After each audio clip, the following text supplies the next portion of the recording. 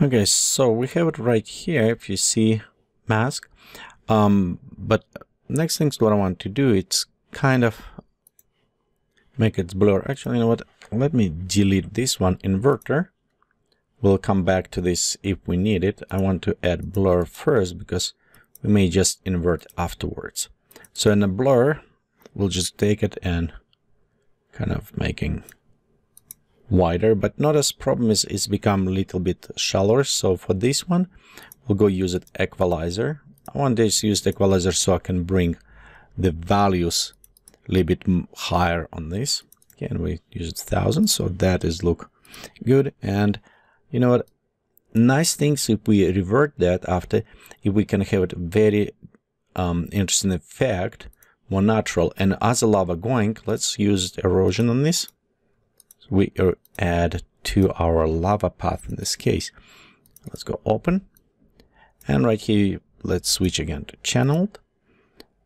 We'll take erosion and pop up maybe to 150. I think 160 may work around this area. You can play more around this, of course, and we'll go to add hardness.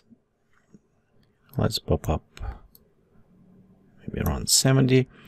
Um, let's bring amount higher. And we also click right there and uh, just bring run there. I'm just looking on this and if we preview, you can see it will look actually not bad at all. Okay, so we can preview, you can see it's look very nice. Okay. So remember, this is will be reversed and will combine to add to our path. Um, let's add a little bit more details to this.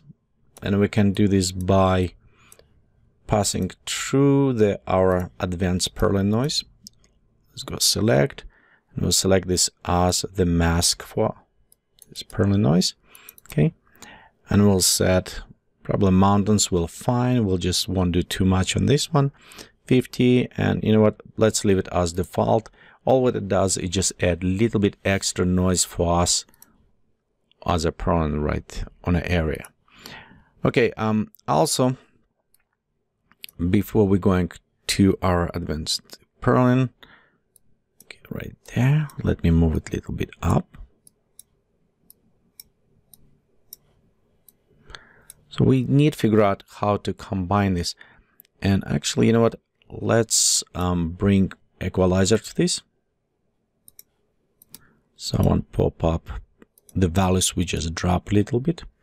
Okay, not too much, just um, slightly. And you know what? Maybe this is too big, so we'll just go be around there just a little bit and we can play more. But I want actually to um, add a little bit more to this one. So we'll probably mix, mix before we're going to advanced Perlin, so it's kind of blend together. Uh, let's go to create combiner for this. Okay, and we'll just go from here. And we'll go from here as well inside our combiner. And in a combiner right here it's look actual nice path. We'll just go add. So we'll have a little bit more value to this. And we'll go all the way to the right. Okay if we preview you can see. Okay let's it's render for a second we have a nice path and right here we have it where is going our um,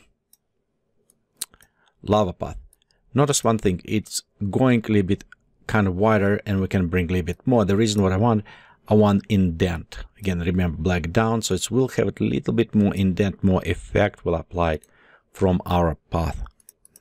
And of course, if you lead a little bit higher, we always can go and equalize just a little bit more. Okay, right here, we can take blur and take a little bit down. So that will bring stronger effect. So we can kind of modify this and see, but for now, let's leave it like this and we'll keep, um, keep on going and see what's happening. Again, preview, you'll see right here, we have a slightly path, maybe not as visible. We will apply a little bit more in the future, but overall, this will provide a little bit indent inside the our lava so we can kind of manipulating with this. Actually, you know it helps if I connect so we can preview a bit better that way. Okay, so right here you can slightly path. Again, it's hardly visible and we'll probably tweak a little bit more to bring it out more of this. Okay, so now we have this layout and on this layout I want um, connect to my next node, so advanced Perlin. Okay, let's go to this point and we'll go to generators and we'll create Perlin. So from this point, if we're going and collect two advanced Perlin, you'll notice we have just a line. So instead, I want to to have um, kind of canyon going. So we'll go invert inverted value. Oops, I don't want right here. To snap to this one. And there you go. We have a nice canyon already kind of applied to this. Okay, let's go open and modify it. Um, maybe, you know, just add more details by bringing down. Let's go switch to the rigid so it's given us nice mountain points. We'll leave it a little bit less details. Elevation and you know what, maybe steepness. Bring it down, okay? Right here we have very nice connections. Um, let's go to take this and connect to erosion. So we'll go natural as well. Go from here and connect to erosion. Um, the couple things about erosion, so let's modify and we'll look on this. Uh, we'll go to the channel. Let's switch this one. Uh, pop up maybe a little bit higher. A bit more darkness. So we'll just add a little bit more. Here, enable. And pop up.